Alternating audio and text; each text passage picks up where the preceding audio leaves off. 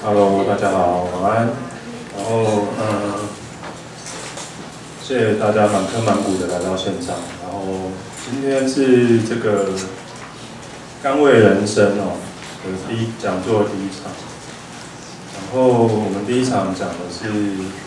咖啡店长的生存之道。那接下来呢，还会有四场的讲座，啊，分别是跟运动有关，跟这个动画有关的，然后跟，哎，我忘了，反正就是大家自己就是麻烦上去看一下哦。那我还要跟香香气设计有关，所以这个只是第一场，那也很希望大家就是在接下来的时候可以来支持这个讲座，都是免费的啊，就是线上报名就可以了。如果你临时发现有空，也可以欢迎大家来。我们这个讲座一直到五月都还有。啊，这场是最踊跃的一场。那我想今天也非常荣幸跟高兴能看到，呃，我的两位好朋友可以来这边。其实他们都很害羞的，他们不太不太出席这种场合。那实在是勉为其难他们，然后有有一种这个要选了的感觉啊。然后，嗯，我想接下来这个时间大概是一个半小时，但我们会视情况来决定我们讲的多长，应该会更短。那如果等下有，对，应该会更短，约莫半个小时。然后等一下，如果大家在最后这个时间，大概就是一个半小时中，有任何 Q&A 的话，可以提出来。那我们今天先欢迎两位讲师，在这个甘味人生的位置下面呢，是我们黑草的黑草啊咖啡黑草的店长跟老板阿健。大家好，我是阿健。那还有另外一位呢，就是在我旁边，在这个杆下面的这位，是这个 The Fox 的老板子琪。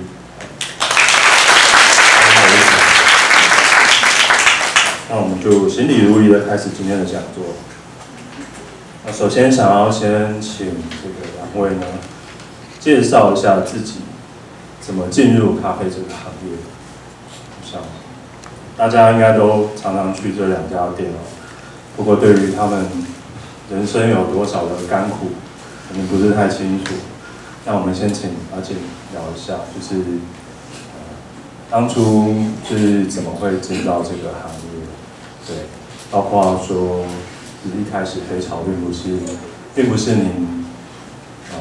创立的，是后来才对这个过程，请阿姐聊一下的。啊，我其实都是很普通的台北小孩，然后大学跟研究所都是念传播，然后完全没有做过传播的工作，然后一直都很喜欢喝咖啡，然后大学的时候是从大学开始是认真喝咖啡，然后变成所谓咖啡玩家的那种年纪。那所谓咖啡玩家就是说，他会在网络上找很多资源，然后会认识同好。然后会对器器材啊，或是豆子有兴趣，一直都没有觉得可以真的进入这个产业，因为家里比较传统，就是觉得说，就是好好念书，小孩不要做服务业这样子。对，然后就很乖，就大学毕业之后工作了几年，然后再去念研究所，然后毕业之后又当了几年的研究员。重点就是一直都不是很开心。然后，呃，大概快要就是大学快要毕业，然后进研究所的时候，那时候刚好进黑潮，然后，呃，黑潮其实是一家老店，它是二零零一年成立的，所以，呃，中间有换过两个老板，我是第三个。那那时候就是，呃，就因为我一直都是客人，就是每天都会出现的那种客人，然后就很喜欢。咖啡馆，然后一直觉得那个想要在咖啡馆工作的那种感觉越来越强烈，越来越强烈。然后一直到第二任老板那时候，就是呃我前一任接手的老板，他们是一对夫妻，然后然后那那那阵子刚好就有个机会，就是呃男生要继续念博班，然后刚好老板娘就是怀孕，然后那时候他没有想要脱手，觉得没有办法，呃，在服务业做这么辛苦的工作。然后我那时候其实没有想很久，然后有个契机我就把它接下来。然后那时候有一个很重要的原因是，那时候子琪就已经在黑潮，然后觉得这俩会再再讲比较详细，然后觉得是一个很好的机会，可以跟很多很好的人在一起工作，然后就接下咖啡黑潮，然后就是一路就到现在。好，那刚刚有讲到就是。其实，在阿进在当客人的时候，子琪已经在黑潮做事了，所以也请子琪聊一下当初是怎么会进这一行，然后怎么遇到阿进。其实我当初会进这一行，是因为我大二的时候开始在黑潮打工，对，然后我学的是室内设计，对，所以我曾我也曾经想当。一位设计师，对，但是我在学校的成绩实在太差了，对，然后我真的很不会画什么设计图，对我就是那种常被老师约谈的那种学生，对，然后大二的时候，我刚好有一透过朋友介绍我去黑潮打工，那其实那时候我没有想的太多，我只是很单纯喜欢喝咖啡，跟可能现在很多去打工的学生一样，就是觉得可以趁空闲的时间，然后。做点工作赚钱，对，但我没有想到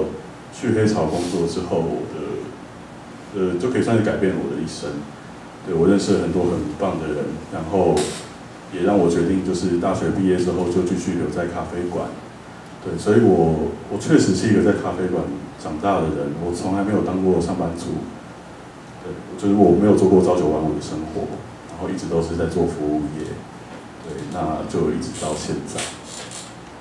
好，就是两位老板虽然都说一开始是很喜欢咖啡馆这个事情哦，才会入行。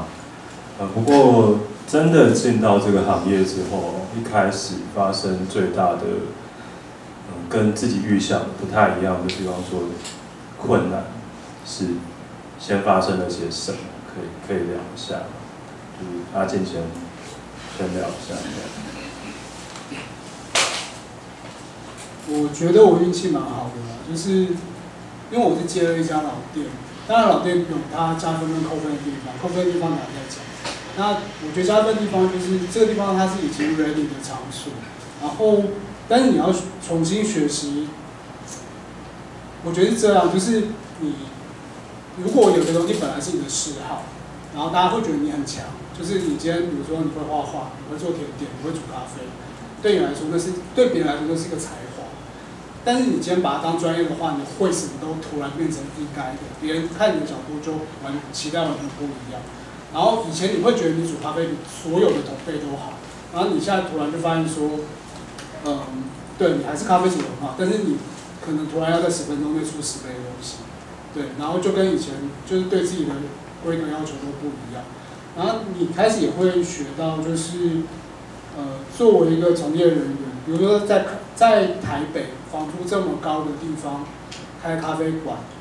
呃，第会不会决有没有办法决定你生存？第一个根本就不是客人，第一个是你的房东，然后第二个是邻居，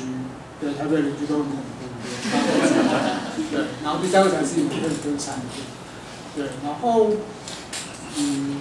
然后台北的咖啡业竞争就很激烈。你今天如果说你每一杯咖啡都煮得很好，你连续。从早到晚都煮得非常好，你连续煮了一年，你可能会有个还不错的名声。但如果说你今天连续做坏六杯咖啡，大概就不用开开店，就是你名声立刻就会变得很差。然后，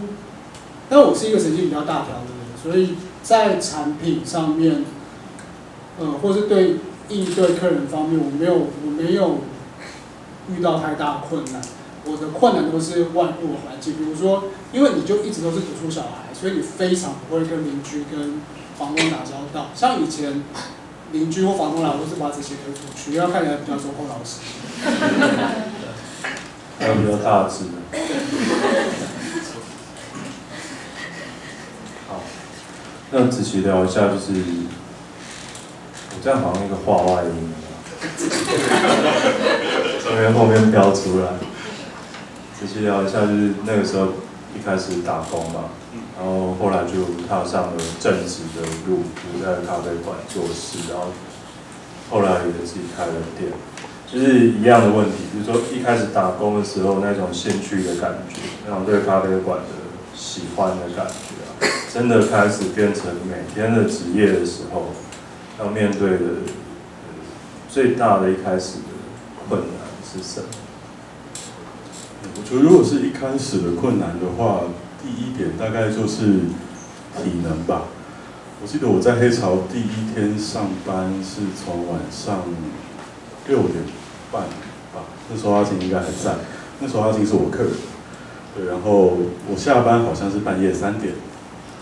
对，那时候那时候黑潮是不赶客人的，对，然后我其实第一天就不太想做了，我觉得就是哇，怎么那么累啊这一行，对，而且我还只是打工的，对，然后。等到后来就做着做着，然后好像就也习惯这件事了。对，可是我觉得对我们这一行来说，好像体力是一件一开始需要花蛮多力气去克服的事情。对，不只是说你要有很好的体力跟精神，是你还要懂得怎么把自己的状态照顾好。对，因为没有客人喜欢看到，就是就我一个死样子站在吧台里，然后很累，脸很臭这样子。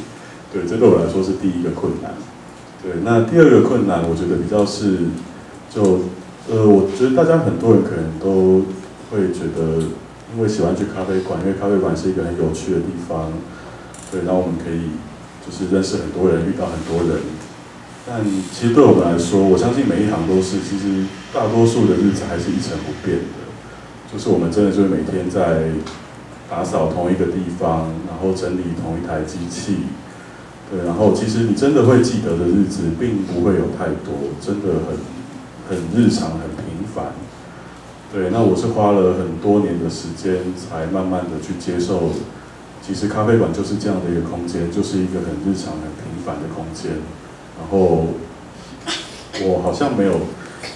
并没有什么觉悟的过程，就是我就是很习惯的、很自然的接受了这一切。我觉得这一行就是这样子。对，那。到后来决定开店，我觉得也是我就是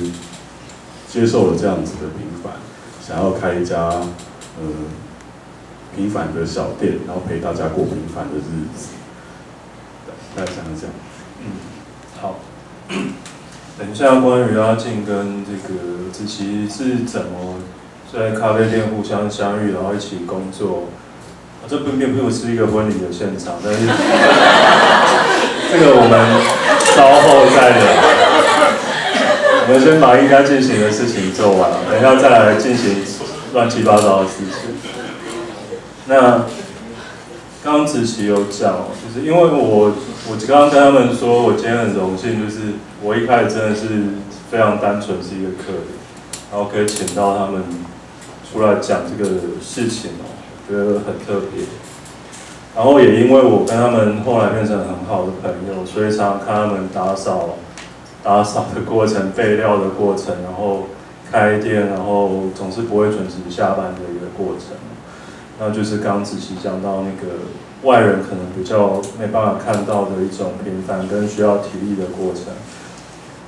嗯，我觉得有一家店的存在是很重要的，虽然现在有很多店。那我觉得，不管是喜欢像我喜欢音乐，那也喜欢咖啡店，所以我觉得我对他们最大的感激是，他们始终这样子如常的维持着一个店。那我今天想去的时候，我可以去。可是他们不管怎么样，他们每天都要开店。我觉得这是很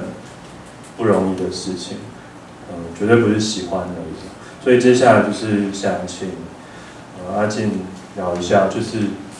在黑潮的一天呢，大概对你来讲是怎么开始的？就是也许以现在的状况，然后，呃，每天开店的时候，除了如常要准备要准备什么，也可以大概聊一下。然后，面对呃朋友或客人的那个心情，走到现在，大概是一个什么样的状态？对。其实咖啡馆一天很无聊，就是就一直在。重复做一样的事情。那黑潮的营业时间是下午一点到晚上十二点，不算特别久，但也不算特别短。所以如果我站全日班的话，通常全日班就是我们会十二点半进店，然后一路就是做到晚上十二点半，然后我会开始做备甜点的料。那如果说做比较繁琐的甜点，或是在等蛋糕凉的话，通常回家的时候都是三点。对，然后我是一个不太爱惜自己的人，所以比较少觉得累。可是像我的工作伙伴们，其实都会想办法帮我把可以做的事情都都做完。那所以我我有点难想象，就是在一般店里，就是如果说老板跟员工不亲，我会觉得说，那应该就是每个人工作都非常痛苦的一个地方。那我觉得我运气是蛮好，我一直都碰到很好的人。那刚才嘉有讲到说，每天怎么，呃，碰到就是开店或是遇到客人的心情，我觉得，嗯，这几年来有变成一个信念，就是，嗯，以前在工作的时候，就是我没有觉得上班族比较不累，我其实觉得上班族很累。那问题是，今天不管说我做多大的案子，我把案子交了之后，我并没有觉得我人生改变什么事情，什么都没有发生。我甚至也不觉得，呃，我有没有帮公司赚了钱，或是我做完一个茶喝点，没有，都就是没有感觉让它开始然后结束，就是你被交办什么研究案，你把它做完，或是大概这样子。可是我觉得服务业对我来说是一件。它是一个有特权的事情，就是英文说 privilege。它的 privilege 在于，你今天你做的任何事情都是从你的手上出去，就是你今天你你双手拿着咖啡给客人，或是做或是做了一个甜点给客人，然后客人给你的回馈会非常直接。然后我觉得，呃，很少有工作跟服务业一样，它的这么被注视。然后你想想看，就是你每天都每个每出去一个互动，都觉得你有被呃被祝福到。然后当然就是你上班不管这个工作，一定都有状况不好的时候。然后这种时候，我就会提醒自己，就是你现在其实是做一个呃 privilege 的工作，要很真实，这样子他就有办法支撑你每天都做一样的事情。我个人是这样。是，那呃。一样请辞协调一下，因为你现在是艺人公司啊，然后每天大概就是要准备所有的事情。我觉得那个繁琐跟阿信不太一样。那可以从你这个，因为你早上八点开了，算是一个蛮蛮罕见的状态。那可以告诉我们你。每天开店八点的时候，你的心情是什么？然后你大概都在做些什么？对，那呃，The Fox 的营业时间是从早上八点，然后到现在是到下午五点，然后我大概是不到七点我就要起床。对，那我先回答，既然说每天早上八点的心情，就现在都很厌世，所以每天早上八点我都觉得啊，我在这里干嘛？为什么我要这样搞自己？冬天不会更惨冬天超惨，可是大家还记得去年下雪那几天，就是我觉得我快被冻死在店里，然后也不会有人知道。然后准备一天的开店。其实我虽然是一个人的店，但是因为我的店很小，然后目前我店里的甜点的部分我是交给阿静，对，我是请他帮我做蛋糕，对，所以其实还蛮单纯的。我大概就是早上到店里，然后开始整理，对，那我会趁比较没有客人的时候去挑豆子，然后去整理我烘焙的档案，然后还有做清洁。对，那其实大多数的时间我就是在就是在服务客人。对，然后下班的时间我都会尽量把它留给我自己的休息。对，因为我早上，呃，八点要开店。对，那大家可能会觉得我五点打烊就是很爽，但其实我八点多就会困了。对，所以所以其实我晚上的时间也不会太多。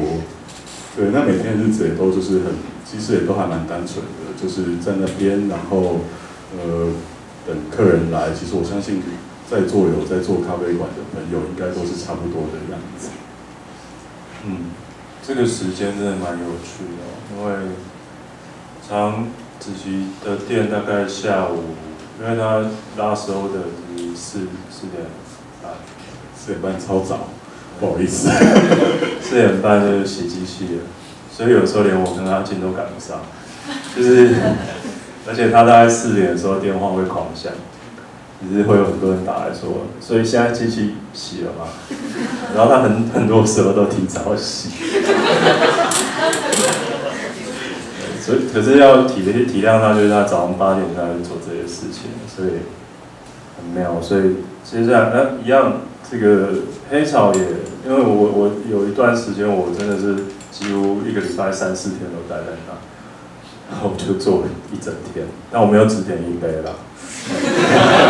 大家要有一个最基本的 sense 啊，就是如果你做很久的话，最好是不要只点一杯啊，这样比较不好一点。然后我就发现黑潮的时段也蛮有趣的，大概下午的时候会出现固定的一票客人，然后比较晚的时候会有另外一种客人。我印象比较深刻的是下午会有一个拿喝拿铁的阿伯，永远坐在那里，对，然后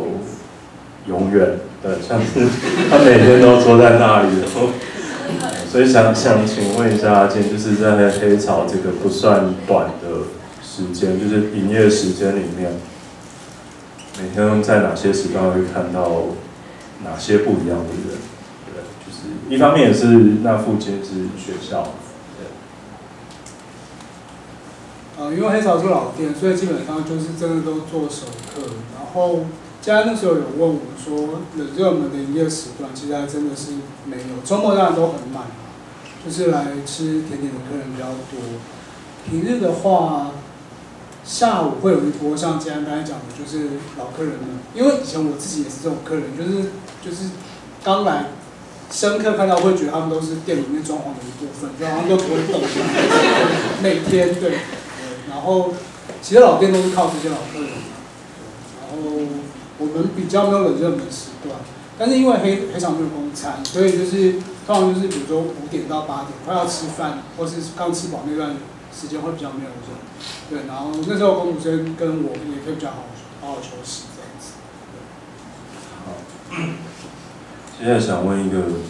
很简单但我觉得很有意思的问题。我这次先从自己开始，就是 The Folks 最常被这个客人问的一个问题是什么？就是，我的意思说，第一次来的客人，他们大概会问些什么问题？比方说是这个不能巧克力康宝不能外带，还是对，就是有没有一些？特别的让你无法招架的问题。呃，其实最常被问的大概就是你们家招牌是什么？对，我觉得这是我们这一行都很常被问的问题。对，那我怎么回答这个问题呢？我看我的心情。对，就是如果我觉得他其实很和善的，他真的很好奇我有没有属于我自己的招牌。的话，那我就会试着引导他说：“说，哎，你要喝黑咖啡呢，还是你要喝加牛奶呢？”对，然后去帮他找出他要的饮料。对，那有些人你知道，他就只是问问而已，他其实也没有真的想要听你解释。那我就会说：“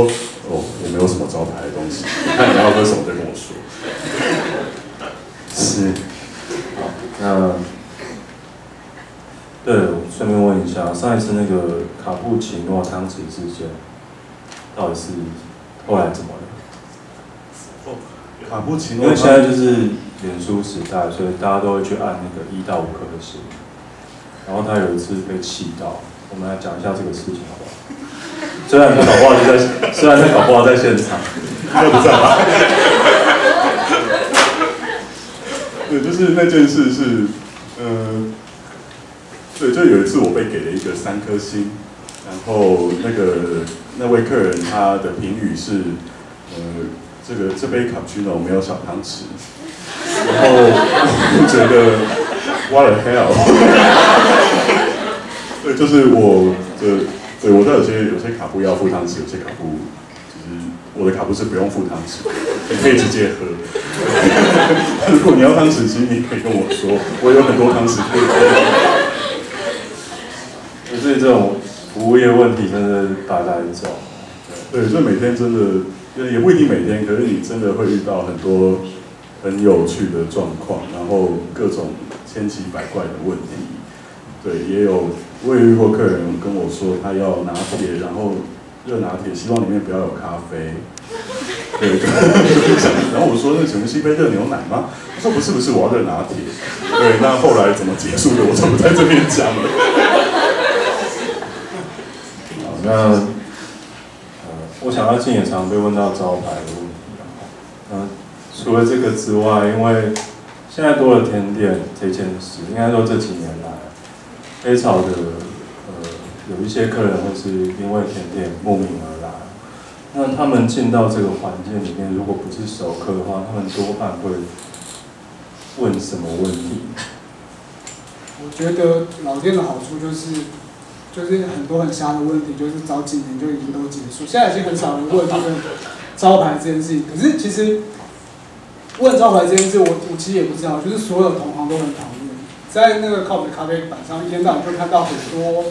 充满怒意的老板在回答这个问题，就是其中最出色的回答是，如果有人问招牌的话，他们就会指门外说外面那一块。可是某一年就是台风很大的时候，黑潮稍微就吹走了，所以我现在没办法用这一次。然后早几年就是你的风格不明显的时候，你的呃一个店一定要风格明显，你的客人才会明显。对，然后一开始就是嗯、比如说我们可能会比较照顾大众的市场，然后不见得都敢放我们平常放的音乐的时候，其实那时候是最糟糕，因为来的客人就会摆摆走。然后你那时候最常被问的问题说，请你们可不可以换音乐？对，不可以。对，其实要求店家换音乐是非常没有礼貌的事情，就是你不能进别人家里觉得他装潢不好，就说你可不可以把你装潢换掉？不行，它就是店的一部分。对，然后但这几年也没有啊，就是黑场现在早就是就是出名的不安静的店，所以这几年已经没有这种问题了。那刚才讲甜点的话，熟客其实都很好，就是都呃互动都很好，除非是生客，他们不管你跟他讲今天有几款甜点，他会问完之后就他一定会问说还有呢，对。然后我就想，我常那时候自己也常想，就是所以这些客人到底是希望你有几款甜点？而且我们非常肯定，就是你即使在甜点店，你讲二十款甜点的时候，他还是会问你说还有什么甜点。对，然后那时候我们就会很客气的问他们说有没有比较想吃什么样的东西，这样就我们直接推荐会比较快。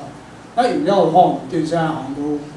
虽然运气好像都没有没有再有这种问。是是，他们可能预设那个甜点店是一个会推车子出来的状？我觉得刚刚院长很好，就是店要有自己的风格哦，那个被问的问题才会比较集中一点。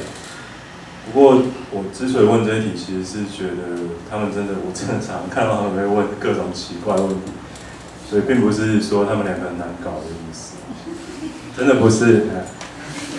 真的有太多很妙的问题。那接下来也是一样，想请两位聊的是。做了这么多年的咖啡，如今就是在看当年的兴趣跟现在的历程。呃，咖啡店这件事情，现在在你们心里或在这个城市里面，你觉得它是一个怎么样的存在？这这个问题有点大，不过可能就从私人的比较私人的情感去讲，可能这样。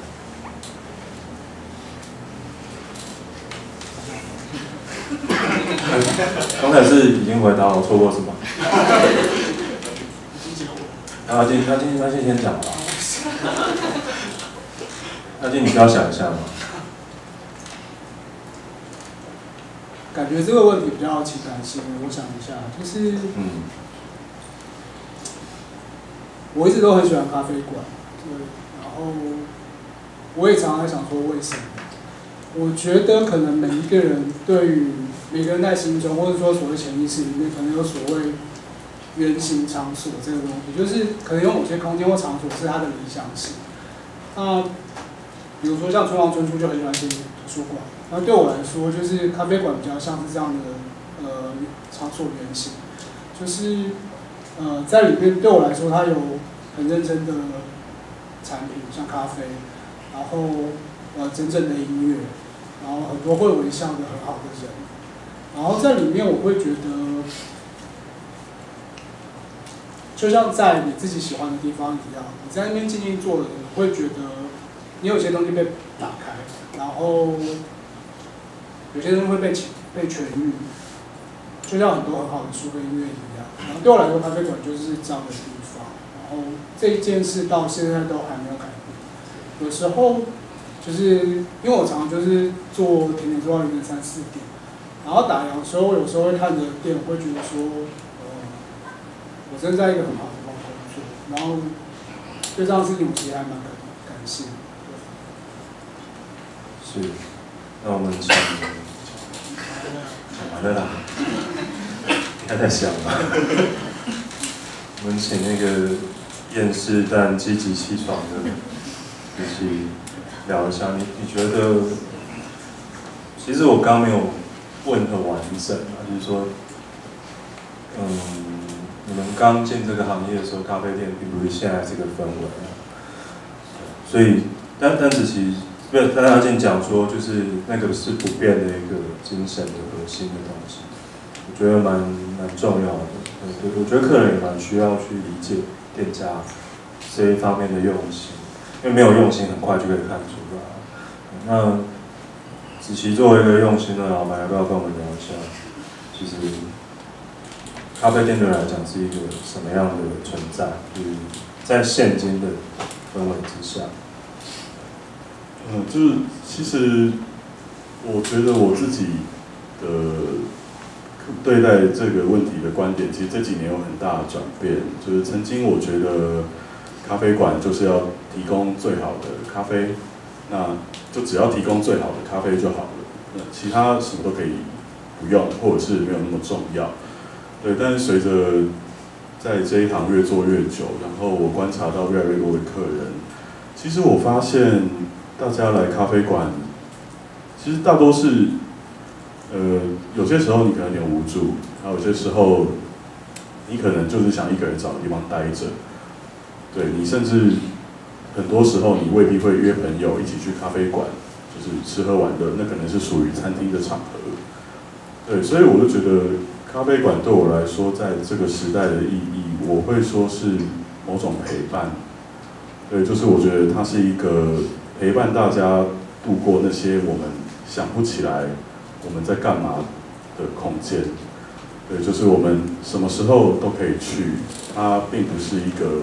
有特别定义的场合，就是它并不一定要欢聚，那也并不一定说你难过才可以去。它是一个你什么时候都可以去的地方。对，那我觉得只有大概只有咖啡馆可以这样。对，那我觉得这是我很喜欢咖啡馆的。原因，对，因为它可以陪伴大家。是，好，那两位都讲的非常感人哦。那其实他本来就是很感人的人哦，真的。不要看他们，不要看大家平常嬉笑怒骂。我我今天我其实就是大家一直讲职人职人哦，可是我不太喜欢讲职人哦，就是。我为什么叫甘味人生？一方面当然是那个本土剧，就是对。那另外一方面，我刚好觉得他们真的超烧肝烧胃，就是在这一系列我们会讲到的。像阿静刚刚讲说，他都半夜做甜点做到两三点，有时候还不小心会有人跑进来，对，然后问你现在有没有开。然后我很少看到他就正常吃饭，可是他都会问客人说：“你吃过没？”我觉得这个事情蛮妙的，然后子琪呢也完全没有办法正常吃饭，我都但是因为会带到他下班嘛，所以他下班就开始狂吃，他今天没有吃到的东西，感觉非常的烧肝和烧胃，就是一次把早餐、中餐、晚餐都吃完。了，然后对，刚阿静有讲到店的风格，然后有讲到音乐这件事，所以。接下来想请教，因为两个店的音乐选择跟书的选择，或者是我们说它是一个跟咖啡馆连不开的一个呃文化上的选择。呃，也许包括店里张贴的海报，或者是店里贩卖的一些周边的东西，寄卖的什么，对。嗯，这个部分想请阿俊聊一下，说，嗯，你如何挑选店里的音乐，或者说电影的音乐是怎么被选择之后放出来？那另一个方面就是说，哦，因为咖啡现在很少看书了，但是咖啡馆还是会放书嘛。那黑潮书其实也都是阿健自己非常喜欢的书才会放上去。那这个部分呢，是不是也请阿健聊一聊这个店的？我们姑且称之为某种品味，好了，对。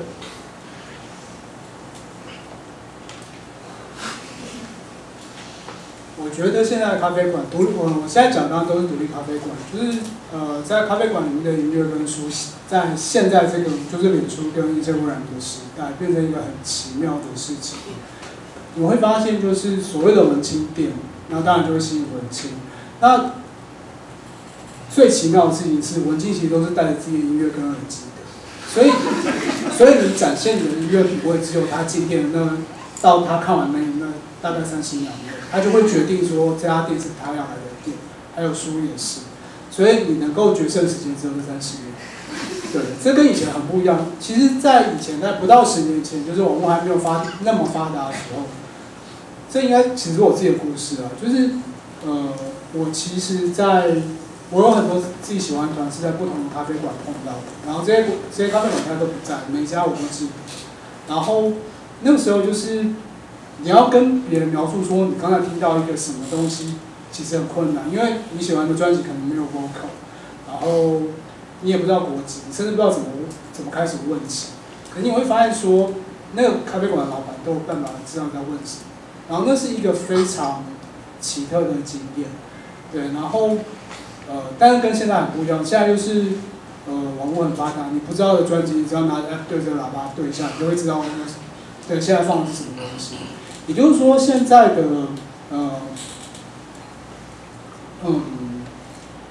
讲到品味就讲它是一个象征筹码，就是现在的象征筹码是一个权力比较对等的一个一个时代。然后，所以我觉得这个时代最好的策略就是你做做你自己。所以现在店里放的音乐就是我一直都喜欢的音乐，然后，呃，书籍跟音乐都是，就是如果到了我这个年纪，你会发现说，你已经有很多朋友自己是非常好的作家跟乐手，所以在我们店里边说，呃，如果要推荐书跟音乐，我会从我自己熟悉的开始放，因为我觉得这些，嗯，本土的乐手或作家比比那些大团更需要机会，他们被，呃，需要更多的引进。然后，但是都是要我喜欢的东西，然后书籍也是，然后，而且，嗯，因为你有你有一个年纪，然后你知道说你比这些小文青，对，就是我在读这我在读的时候，你还在上辈子，对，就是你比较活得糊弄，所以当有一些态度不是那么好的，就是说你怎么放这张专辑，真的他们上一张哎，那对啊，怎么样呢？对，对，他们就上一张就比这张好啊，就是你你你并没有。你并不需要 push 自己变成一个非常潮流的店，对，那你要知道自己喜欢什么，然后而且有能力把你喜欢的东西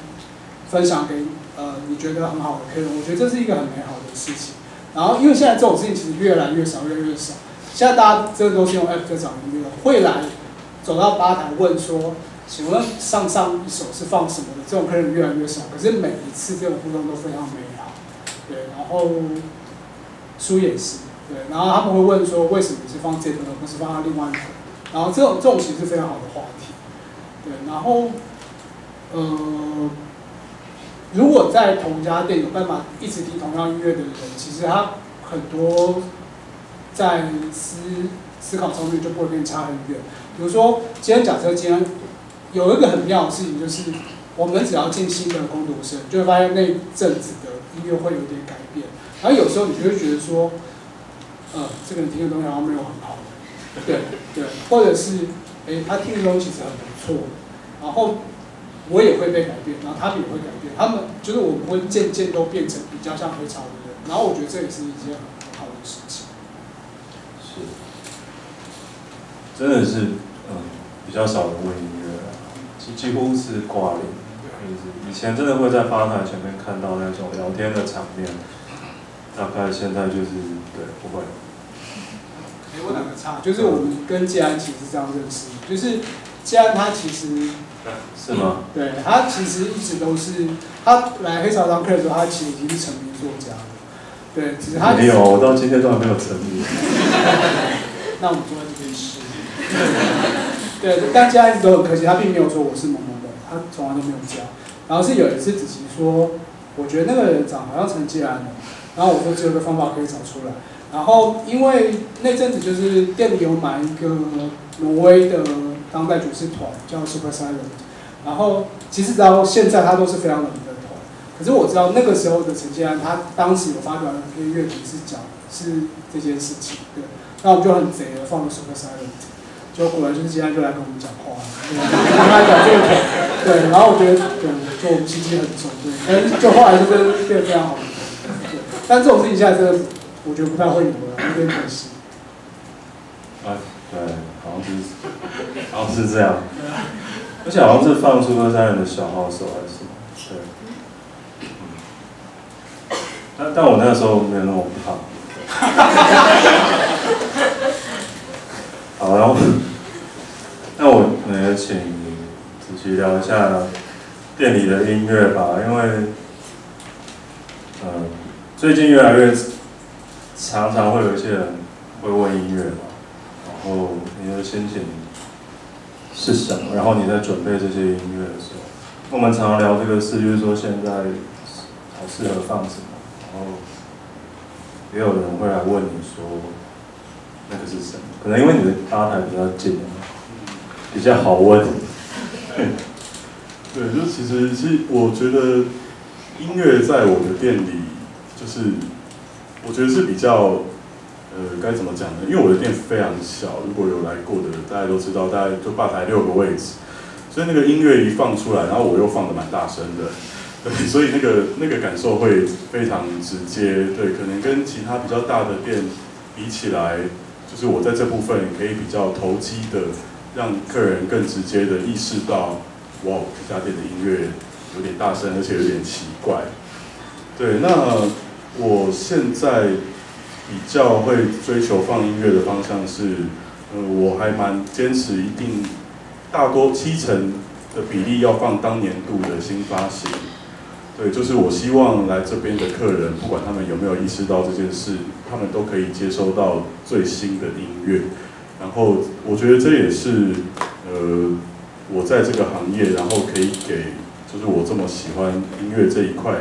在那一块的工作者最直接的鼓励，对，就是我直接去购买他们的音乐，然后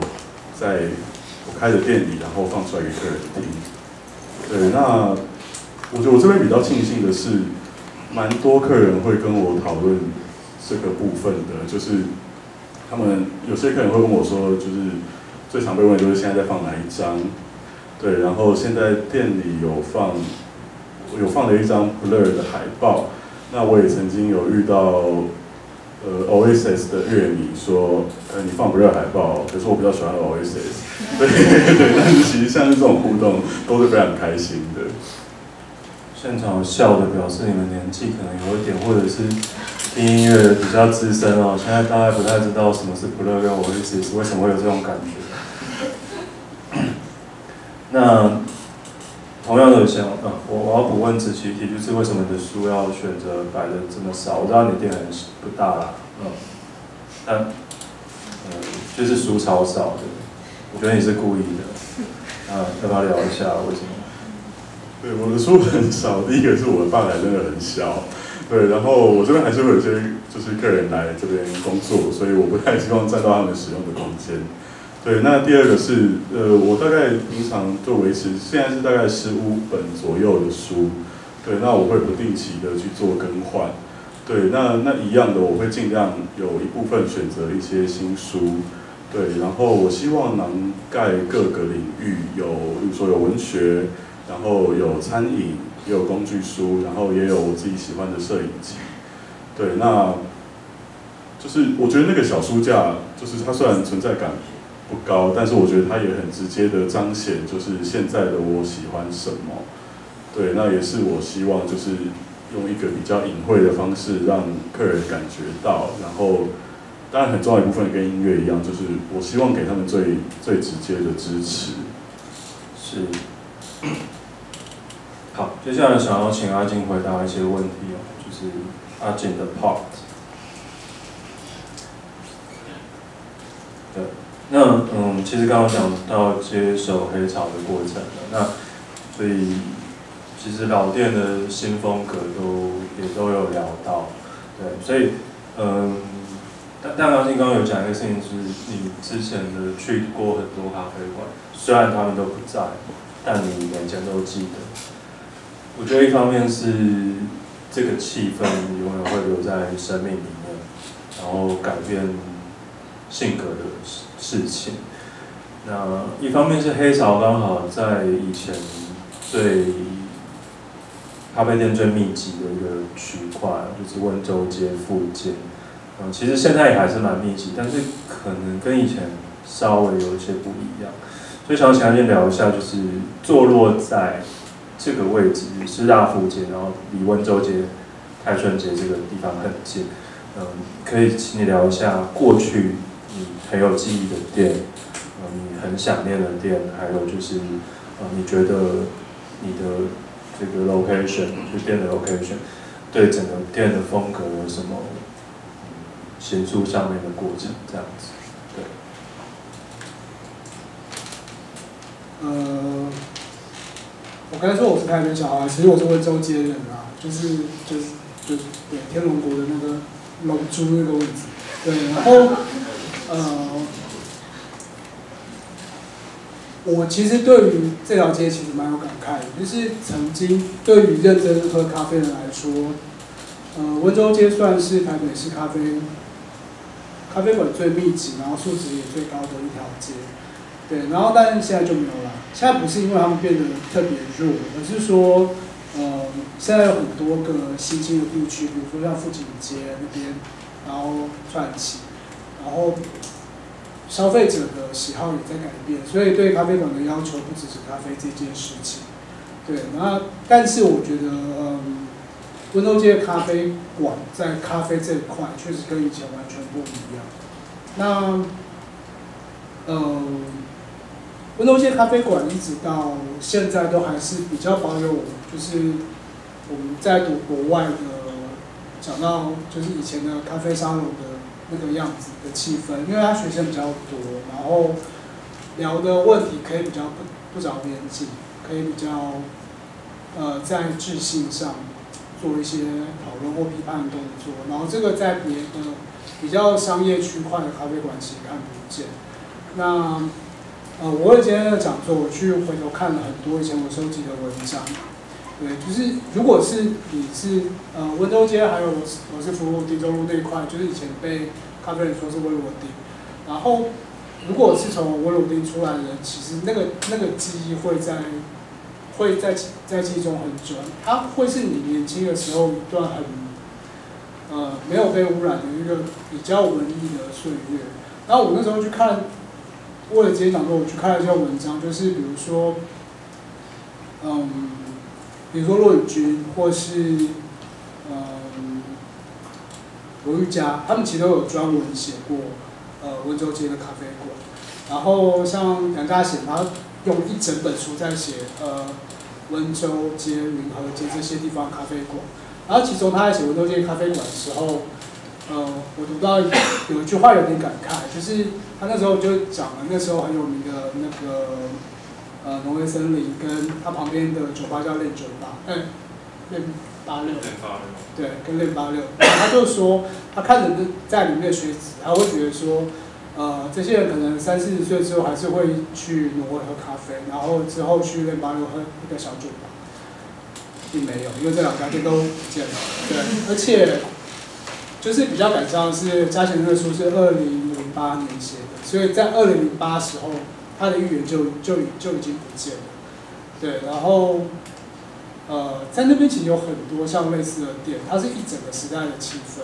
然后我觉得现在如果比较年轻一辈的的朋友会有这个时代气氛，比如说你也不会知道 Instagram 或 Facebook 或者活多久，但是呃，我觉得会在你们记忆记忆里面，它会是某一种很难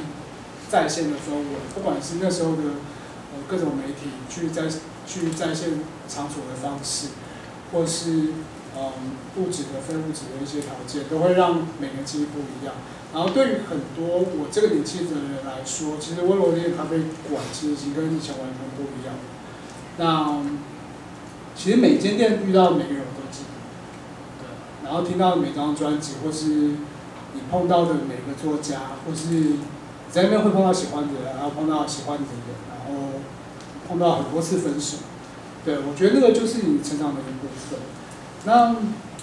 而且不知道为什么。这可能是优点，也可能是缺点。就是以前在温罗丁的咖啡馆里面的客人跟老板还有客人间的互动非常非常之密集。我有次跟罗一佳讲这件事情有多夸张，就是以前就是在那个网络交友软件没有那么发达的时候，男同志交友其实很困难，所以他们要怎么找说他们今天有兴趣的对象？他们会在就是 B B S 上的男同志版说，呃，我今天下午几点几分？在比如说在挪威森林里面，我穿什么衣服，背什么背包，然后你穿什么颜色的衣服跟什么背包，然后呃，我觉得你很好看，如果有兴趣的话，对，请你私信给我。以前的对，就是在 App 前时代的交友是这样，然后然后有时候会付那个那个就是照片连接，然后我就跟罗云佳说，有一次我看到交友的那个讯息，就发我一翻是你耶，对，就他那时候还不是成名作家。对，然后罗伊佳就说：“天哪，那时候好好青涩。”对，然后就是那是每个人的，那是一整个时代。然后我觉得现在会有现在的时代，只是我们现在还不是很确定那个东西会是什么。可是我觉得咖啡馆作为一个陪伴场所，应该是不会改变的事情。是。刚讲到那个，就是演就 dress dress code 这件事情。在现在就比较难，以前真的会这样约啊。我记得我第一次去挪威森林，在温州街店的时候，我是完全不认识我要见到这些人。我跟三四个朋友，就是那个时候已经有 MSN 了。天哪！我然后会讲到什么 Penton 之类的。对，然后我真的我真的不知道我会遇到谁，可是好像有一种事情是你一走进去你就知道，好像就是这群人的感觉。我觉得以前咖啡馆有这个事情，对，然后大家的穿着也比较平分一点。对，现在如果讲说，我等一下下午会去咖啡馆，然后我会穿一件素的 T 恤，然后下面是牛仔裤配一个呃。认识的鞋子，我觉得你可能找不到你要找的人，或者是很容易找错的。对，那那个时候不太一样。对，那我也我也非常赞同啊，你讲，其实现在的年轻人也许正在建构属于他们自己的街道的记忆也好，区块的记忆也好，他们的方式，我觉得那个是咖啡馆始终不变的一个存在的价值，管它在哪里。所以。我还想问阿静一个问题，就是说，其实跟很多人一起在黑潮工作过，从我刚刚讲的那个时候，就是温罗丁的时候，一直到现在，那其实有不不断的有新的小朋友会来打工这样子，所以嗯，我想你应该是非常，虽然是一个呃老店的经营者，你应该是非常能够在每年或者是每几年就看见。不同对于咖啡馆有憧憬或者有兴趣的新的面孔进来这个场域的，所以想请你聊一聊在黑潮工作的你所看到的这些人们的特质，不管是他们有什么共同的部分或者是转变的部分。对，我觉得有一件事情从以前到现在都一样，就是来咖啡馆打工的人。基本上就是比较特特殊的一群，因为如果你是以时薪时薪来看的话，现在大家的就基本薪水都差不多。可是，呃，或者说以学生来说，如果他去做加油站的晚上，其实赚比较多。也就是说，他今天来咖啡馆工作，其实他并没有，或者说他不只在意说他每个小时的薪水，他比较在意说他今天在这个地方他喜不喜欢，然后他有没有可能做什么事情，然后对自己造成什么影响。然后如果对自己觉得说那是他要的比较愉悦的人生，他比较会留下来。对，然后呃，讲到咖啡馆，来咖啡馆上班的人，有一件事情是同行一定知道，但是非同行一定不知道的事情，就是其实如果说你去咖啡馆求职，然后你一开始就说你对咖啡有兴趣，或者你会煮咖啡，通常你都不会被用。对，这件事其实很违反常识。对，但是对，但在业界这这其实是一个大家都都知道的事情，就是如果你今天进咖啡馆，就是说我要学咖啡，通常这个人的外场会做得很不好，因为对他来说，他就是只是在熬熬过说我做外场时间，我就可以煮咖啡。对，那事实上这就是最糟糕的人，对于个性店来说，因为一个咖啡馆它要能够运作顺畅，然后呃能够让客人有很好的印象，其实咖啡占的比例很低。对外场的比例很高，所以你一定要有办法展现，你可以作为一个好的服务人员，你才有办法在这家店上班。然后你至于你会不会煮咖啡，我一点都不 care。就是如果你进来久了，在我们身边久了，我就一定有信心把你教的咖啡煮得很好。所以对我来说，是不是很有兴趣，或者说你是咖啡煮得很好，对我来说一点都不重要。对，然后这件事可以给大家参考一下。想问一个，就是现在大家都开始卖单品咖啡啊，啊黑潮还是以意式为主，但其实你有时候心血来潮会煮塞风给朋友喝，呃，你怎么看待单品咖啡馆崛起这件事情？对，我自己很喜欢喝单品啊，我们没有卖单品，纯粹只是因为吧台放不下。那接下来就是子琪啊，子琪说就是你在听说，就我们两个说嘛哈。你在开店之前去了台湾找，然后看了非常多不同地方的咖啡馆，就是在你要开店之前，对，然后。那个时候准备的心情是什么？然后确定要开店的感受是什么？就是因为它就是无中生有的一件事，就是你要从头弄起来。所以一开始那个决定的感觉是，你不可能开一家店，然后就就说好，那算了，就不要好了。对，所以一开始那个决定的心情跟准备的心情是什么？对。嗯，我一开始。其实开店这件事对我来说最花时间的是下这个决定。对，就是我在黑潮工作五年之后，我还陆续待过呃乐乐咖啡，然后还有另外一家叫 Stone。然后在黑潮的呃，我当兼职的时候也有在 Rufus 当过兼职。对，然后我后来发现，就是我好像。没有办法在什么地方一直做下去，对，但是我绝对可以说，我工作的店是就是台北市最棒的这些店，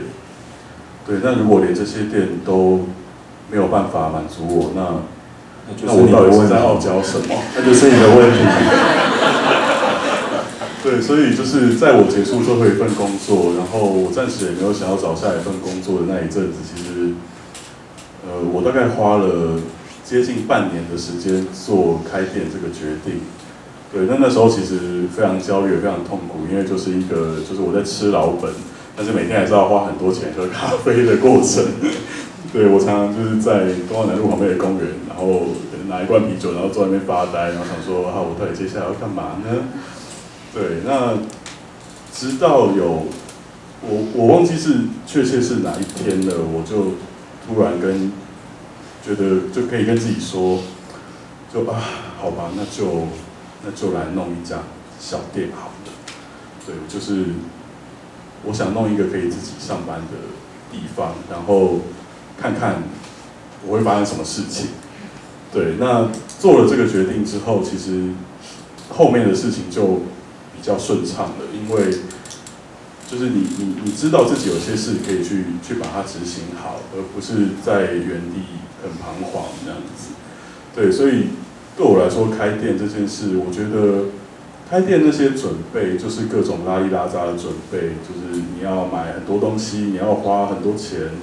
然后你要跟师傅沟通，你要学习他们的语言，对这些事我觉得都比不上做那个决定辛苦。对，就是我我我相信，如果在在做，或者是你们有想要开店，我相信你们的感受一定都跟我一样，因为就是以前上班每个月老板都会给你薪水，对，但是你开店之后，你就成为一个没有任何借口的人了。对，阿静还要给人家薪水。对。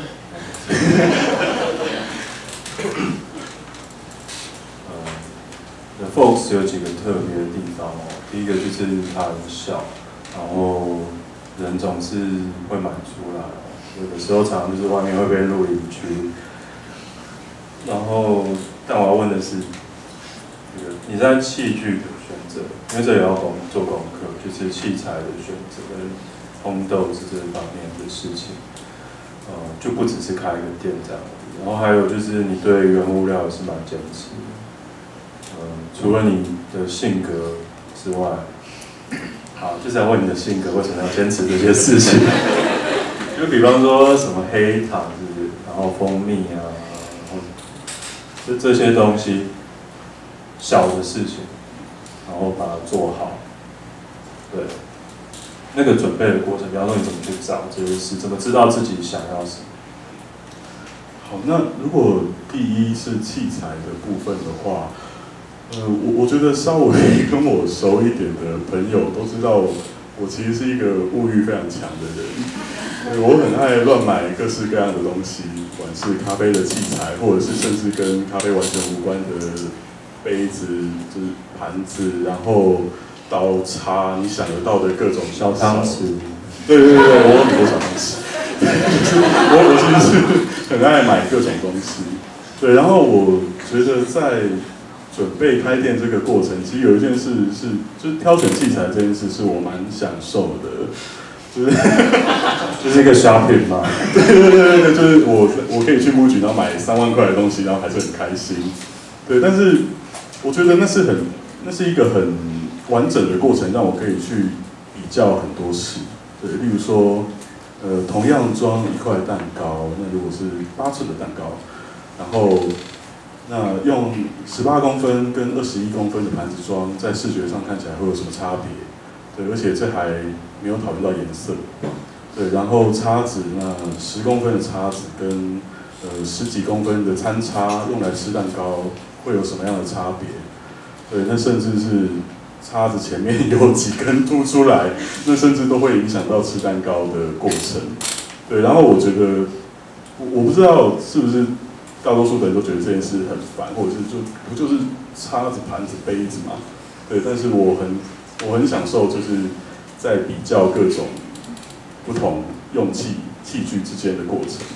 对，而且就那就那让我可以买很多东西，而且有非常正当的理由。嗯，听说你自就就我们自己说啊，又来啊，听说啊，你跟纽西兰还是哪个国家那个杯子商自己批了一堆杯子？哦，对，就是呃，现在店里的所有的热咖啡的杯子几乎都是纽西兰的一款国民杯，然后它叫 ACME，对，然后我发现台湾没有代理商，所以那时候我就写 email 问他们可不可以寄一批给我。然后他们就说就好啊，但是每一种颜色你要的杯款，你就算你只要那一个杯子，但你都要订一箱。对，然后我就说不好啊，那有什么问题？所以我就花了好几万块去买这些杯子。它其实是它其实，在纽西兰的位置其实很便宜哦，它其实有点像是台湾的大桶，就是是做那种就是很耐用、很厚实的。悲剧，对，但是我把它寄过来这件事花了我非常多钱，连小的当然能考，对对，然后颜色解释颜色介绍一下，对，就是店里用的都是白白色的比较多，然后我自己也非常爱买玻璃杯，对，因为我的我的吧台是灰色的，然后我开店前吧台做好的时候，我就发现灰色的台面在上面放透明的东西会非常好看。对，如果各位家里有什么灰色的部分，你把一些透明的东西摆上去，效果会非常不错。听起来有点龟毛，但是你觉得这些设计的东西，包括从店的装潢，然后嗯器材的放置，甚至是 menu 后面那块板子的寻找，你觉得？我觉得对这家店是非常重要，就是它没有一个环节是想要 miss 掉。对，这一般一一般来讲是店长的性格，对？那个，我我可以问一下，你 menu 后面那块板子，你去找找了多少个来试吗？对我 menu 后面那块就是是一个夹板。那一开始我本来是想选日本的一个品牌叫 Penco，对，那我后来发现好多店在用哦，我不想跟大家一样，对，然后我就去买了 MUJI 的，MUJI 的夹板它后面是用铝做的，它是金属的，然后其实非常好看，对，只是好像比较少被人注意到，对，然后 MUJI 的夹板用了大概一年之后。然后我就觉得好像可以帮店里的 menu 换个夹板，对然后我又去找到了另外一个日本品牌，也刚好叫 Folk Studio，对，他是专门在做一些木板跟金属的加工，然后找到了现在的夹板。对，那我觉得这些器具的选择，其实就是对于我来说，就是一个不断的叛逆，然后再重新购买的过程。对，那我都说服自己说，就是其实客人都会注意到啦。的的确会注意到，因为一直换。哦，想想请问你，就是为什么要取这个店名？然后为大家解释一下，The Folks 到底是什么意思？然后你为什么要取这个店名？第二个是营业时段的选择，为什么决定要？在早上八点到下午五点这个时段来营业，啊，那第一个问题刚好在这边可以一次回答好多人，其实这也是我找你来的原因啊。对，为什么会叫 Folks？因为就就其实像我对于咖啡馆的定义，它是一个陪伴。那我觉得咖啡馆对我来说也一直是一个聚集各种不同人群的地方。对，那 folks 刚好是一个，就是称呼大家，像魏斌在场，称呼在场，大家说 Hey folks，就是是一个比较亲密、比较轻松一点的称呼。对，然后它又很简单，比较不容易被误认。对，虽然我有被误认成是 fork，就是叉子过，对，还不少次，对，但是状况不多。对，然后就是我觉得这个店名就是简单好记又干脆，然后是我蛮符合我挑选店名的原则。对，然后它的另外一个意思是，呃，民谣，对，那也刚好可以在我很在乎的音乐这一块做做一点关联，对，那这是我挑选这个电影的原因。是，那请我们解释一下为什么早上八点开，晚上一点结束，还不到晚上呢？嗯，还有为为什么早上八点开是？呃，从我最早在黑潮上班的时间是到晚上十二点打烊，然后打烊完结束到家大概是一点多，然后后面陆续工作的店大概也都是到十点打烊或是十一点打烊。对，那其实以前我们就我们这一行打烊之后的生活大概就是都在喝酒，然后都在吃宵夜，对，然后就是。这样子过了好多好多年之后，我觉得我的身体好像开始慢慢出现一些状况。对啊，玉阳老师要讲到这么感伤的部分，不好意思。对，所以就是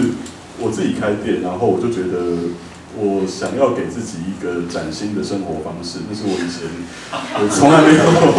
体会过的。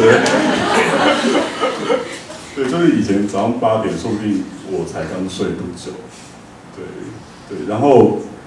那时候其实我开店前那段犹豫，刚刚提到那段犹豫的时间，我也有想要找，就是台北有没有早上开的咖啡馆啊？就我好想去那里工作，可是那时候几乎完全没有。对，那这也是为什么我会这样决定我的营业时间的原因。对，然后我觉得早上开其实是蛮蛮特别的经验。对，就是现在早上来的客人其实真的不太多，然后呃大多数都是一些比较工作时间比较自由，然后也真的很喜欢这边，不想就是可以避开在下午人挤人的时间来。对，那最特别的是偶尔会收留一些，例如说他宿醉，对，就是他根本就没有睡，对，或者是他失恋，然后他一样根本就没有睡。像这样的客人，就是以前比较像是我们夜班的客人，对，早其实早上还是有的，对，真的很有趣，连连贯的概念。对对对对我常常觉得那个你收留这些人，我之前就是想说要帮你做那个四维四维暖暖心文，看到超多人就跟你讲他失恋了之类的，对，那个是很表面，阿静看的更多。好，那接下来这个最后的部分，呃，想要问阿静的是，哦，一开始遇到子琪这个人啊，你的印象是什么？然后有想过后来会跟他一起工作嘛？然后他是一个什么样的？他是一个，我很努力在维持一个镇定的状态。他是一个什么样的员工呢？对，就是因为这有好几个层面嘛。一开始是你是客人，他是来打工的，后来你变成老板，然后他变成了一个比较 routine 的员工。对，所以嗯，从咖啡馆里面认识这样一位朋友，是什么样的过程？然后你觉得他是一个怎么样特质的人？呃，那时候既然在做这个专题的那个计划的时候，有讲说这部分就是聊一下，就是呃子琪跟我之间的师徒情谊。然后我觉得这个部分其实呃大家都有很大的误解。如果说有什么师徒情谊的话，其实子琪才是我的老师，在很多意义上都是。对，虽然他年纪比我小很多。对。要跪了吗？要跪了。虽然讲这个有点太感性了，就是有点肉麻，但是是真的，就是呃，我刚才讲过，就是我们都是就是读书的乖小孩，然后呃，我也从来都没有觉得说 有一天我可以真的在咖啡馆上班，或是甚至后来就是接了这家店。然后我那时候去黑潮的时候，刚好应该是差不多子琪去那边上班，所以呃。等于是，其实子琪比我资深，在在店里的时间确实是前辈。那呃，我那时候每天看着他工作，然后会觉得说，嗯，因为子琪现在看起来是个很会搞笑的人，其实他对自己工作要求很高。然后他其实没有他看起来那么开朗，他是一个毛很多的人，就是 对下班之后就就是负面情绪爆炸到不行的那种人。对他上班时候就是呃，都会把自己维持很好。然后我那时候就每天这样看着他，然后他年纪比我小这么多，我会觉得说，哦，有一个人是这样看待服务业，他把服务业做到让你觉得说这是一个你可以上网的工作，然后他有光亮、有美好的部分，然后我每被他服务我都觉得很开心，然后我就想说，其实这才是我下定决心要做要接黑潮的的真正原因，一直到那个。我的前一任老板问我说：“呃，有没有意愿接黑潮的时候，我都是先问过自己说，他愿不愿意留下来，就是当我第一任正式吧台。他说他愿意，然后我就我就说那我就把店接下来。对对，其实整整个事整个事情，对摇滚区的群众稍安勿躁。对，整个事情的经过其实是这样，然后。呃，我自己没有跟子琪说，是这个部分，我其实很感谢他，就是从他身上我学习到非常非常多的事情。呃，应该说那个时候的子琪，因为那时候他还是学生，然后他很天真，常常会问一些没有那么深思熟虑，然后的事情，让我会，然后让我觉得说，就是比较社会化的自己会觉得说，对我怎么会变成现在这个样？但是他现在也是会画的，所以他就会，比如说他以前就会问我说，为什么咖啡店要有低消？如果他不点东西，我们损失只是一杯水啊。对我问过这个问题。对，他现在应该超厚。可是现，可是我我其实很感谢，就是我到现在，如果我碰到什么很困难的事情，我还是会想说，那时候子琪我在店里他会怎么样？对，就是嗯，是一个年轻的时候子琪一直是我的老师的感觉。我觉得那个在每一个人的一生中都是一个很少的、很少有的缘分，因为你始终可以找到比你资深的人当你的老师，可是你可以从比自己小的人身上一直学到新的东西，这是非常困难的事情。然后子琪那时候，呃，教，呃，我印象比较深刻的事情还有第二件，就是子琪其实是师大，他没有他说的那么不会读书。对，那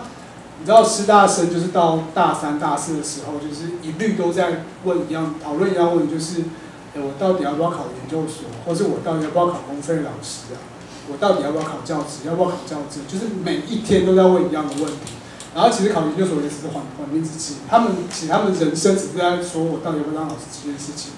然后他们就会问自己说，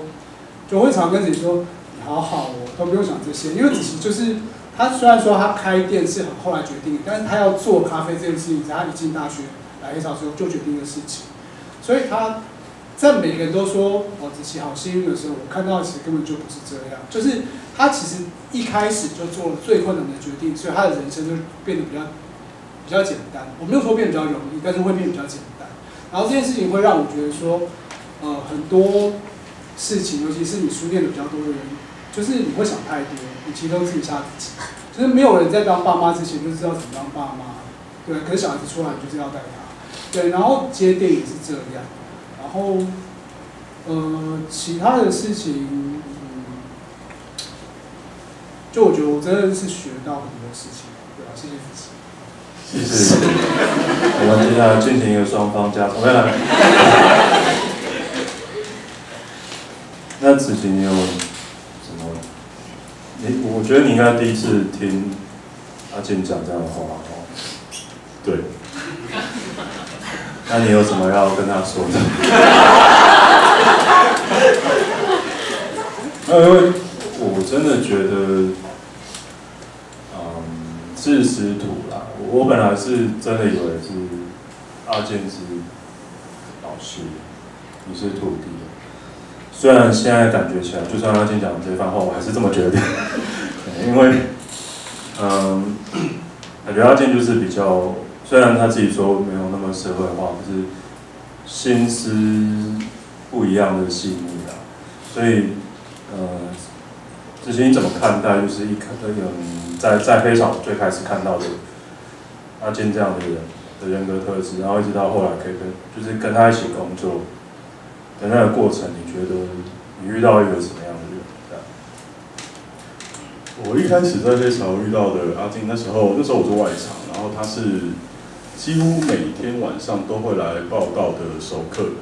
他都装潢的一部分。对，他们都会，我知道，我记得他都会坐在就是黑潮的吧台最靠墙的那个位置。然后我每天晚上大概就是呃七八点，他下班我就会看到他。那我做了几个月之后，如果我没看到他，我会打电话给他，因为我担心他是不是在路上 发生什么状况而没有过来。对，那直到后来就是我也经历了黑潮换了老板，然后阿静接店，然后他从原本我们是隔着一个吧台相处，然后突然他就跑到吧台里面。对，那其实是其实是一个很很奇妙的过程。然后我觉得一起工作其实是对任何任何层面的感情都是很大的考验。对，因为我们我们这样子的行业一起工作，其实你你的工作是环环相扣的，然后就没有办法像说像可能像某些工作，你只要把自己的部分做好就好。但是就是其他工作可以，但是服务业不是。对，所以我觉得在服务业一起工作是你可以真的，你可以非常完整的认识一个人，你可以完全的看到他的所有优点跟缺点。对，那我看到的阿静，他一直都是一个我我不用非常我说异常异常认真的人，就是他很认真的对待他经历的每一件事情。那我觉得那对我有非常非常。深远而且重大的影响，对，就是我会很希望自己可以像他一样这么认真的对待人、对待事，对，那一直到现在我都是这样想的，对，那我觉得我特别感谢的就是因为我从大二那时候就就认识阿静，那他真的包容了我很多，就是还很不成熟时候的各种状况，对，然后这样一路一路走来，我们都还是好的朋友。其实我是觉得就是非常感激的，是很难得的经历。是，好，那我把这个情绪点 hold 在这边啊，就 hold 在这边就好了啊，不然会那个好。两位怎么看现在对方的店？因为还是常去嘛，就是说常常常常去对方的店。那想先请阿信谈一下，因为子琪要开店，应该你就是不是第一个，就第二个知道了。有没有什么担心？然后后来现在看他开这个店，你觉得这家店怎么样呢？对，就是这家店给你什么样的感觉？我其实完全不担心啦，就是你，呃，你这么多年来一定会用过很多，呃，想要开店，呃，其实应该说，呃，进来的人，呃，想不想开店，或是能不能开成店，其实几乎在你相处了大概第一前几个月你就会知道。然后子琪一直都是我以及我们的同行们都觉得开店一定没有问题的那种人。那确实现在也是。然后我去 Fox 会觉得说，哦，这就是子琪的店啊，就什么东西都是他要的。那我只是会比较担心说，因为子琪现在很年轻，然后客人也都很年轻，然后，嗯，如果他今天要把店做大一点点，然后来的客人可能就不是他可以都喜欢的客人。然后林子琪就是一个非常容易受客人影响的人，就是他就是负面能量会大爆发，想说我今天来的客人都是屎，他会想说，对，对他就是一个他是一个很好的人，他喜欢好好对待人，所以今天如果他发现有人没有好好对待他对待他的店跟他的产品，他其实会很生气。然后我觉得就是就是在心理跟身体的健康上，我会比较担心，其他。其他的就是子琪，其实代表就是在黑潮以后这一波新开店的的某一种典型，就是他们会用非常高端的机器，然后用非常好的豆子，然后他什么东西都喜欢买很贵，对，他对他上上面跟我说，他今天买一台秤一万块，就是称面粉的秤，对各位同学。对，然后他会跟我说，不只是我啊，那个谁谁谁谁谁谁哪家店也有买下，所以其实现在这种这种店很多。然后，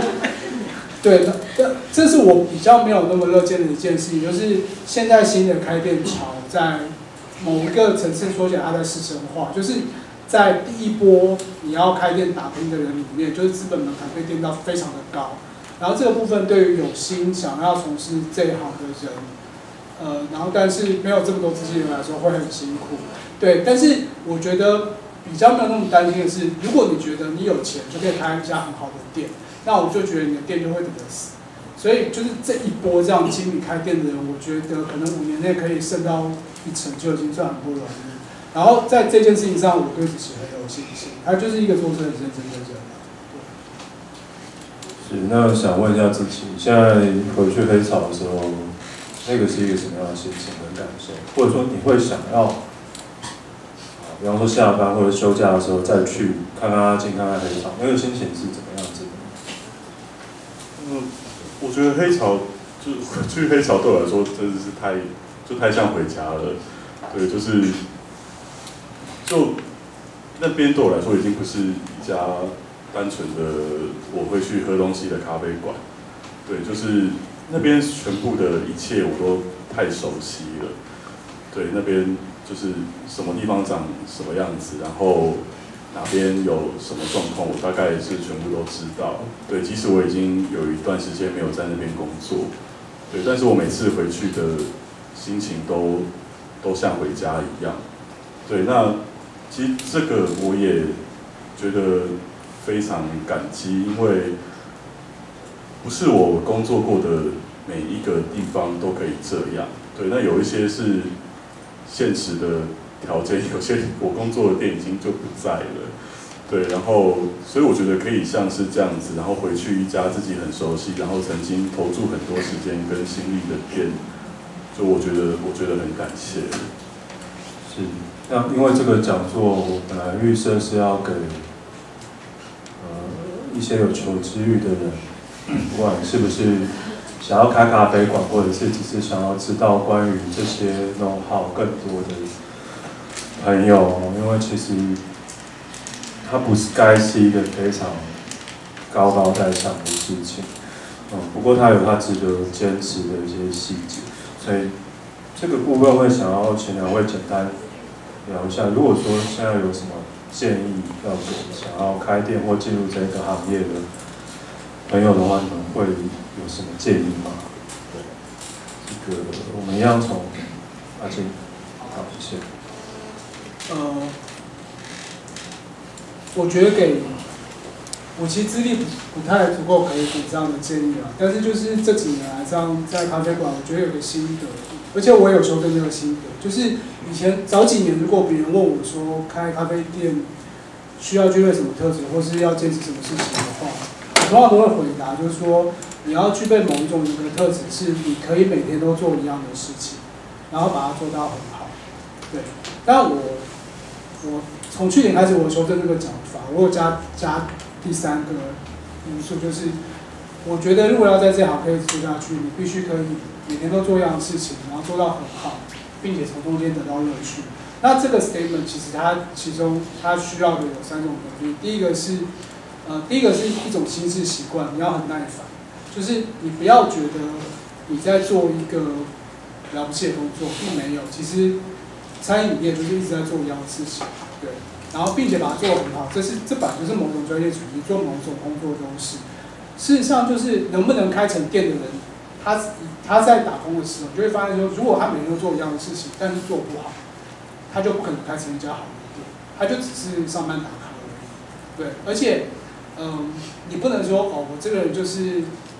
线条比较粗，所以事情做不好，不行，就是你要能够养成。能够解释自己工作内容的的能力，因为在咖啡馆工作节奏都很快，其实你你不应该允许自己造成别人，对，所以你应该要能够每天做一样事情，并把它做很好。然后第三个是，并且从从中间获获得乐趣。那我觉得这其实是一种重要能力，就是呃，其实，在餐饮业其实是一件被祝福的事情啦。就是如果比如说你今天做做一杯卡布奇诺。不管你在多快的时间内喝到那杯卡布，跟你在吧台里面喝到就已经不一样。奶泡从你打完的第一秒开始，它就开始冷化，对，然后你会看到很多不一样的烟，然后闻到不一样的香气，然后要试着一直把这些感官维持在很新，去感受这些乐趣，我觉得是很不容易的事情。然后这是我的一点心得。呃，就我觉得其实。我我好像也没有什么资格谈论这些，但好了好了有了。对，但是就刚好，其实开店以来是接近两年的时间，然后有很多客人跟朋友都会问我，他们会问我说，他们觉得觉得开一家咖啡馆最重要的事情是是什么？对，或者是在一家咖啡馆里面最重要的事情是是什么？有有没有最重要的事情？对，那我以前回答不太出来这个问题，但我最近的思考，我发现我好像可以稍微回答，就是我会回答说，我我觉得是所有你你你眼睛看不到、你你尝不到的的事情。对，大概就像是你去一家店，如果你很喜欢的话，你把你把眼睛闭上，你你会感受到的东西，对，可能是那边的气氛，可能是那边的音乐，对。但我以我以前曾经认为这一切都是某一种因缘际会，因为就是咖啡馆是流动的空间，它所有事情随时都在改变。对，今天你旁边坐一桌很奇怪的客人，那气氛就很差。所以，我以前以为一切都是运气。但我后来发现不是，是我们有意识的在营造这件事情，我们用尽我们的全力去营造这件事。对，所以我觉得我会这样子讲，就是呃，所有你看不到的东西都都是最重要的。对，要试着去找出一些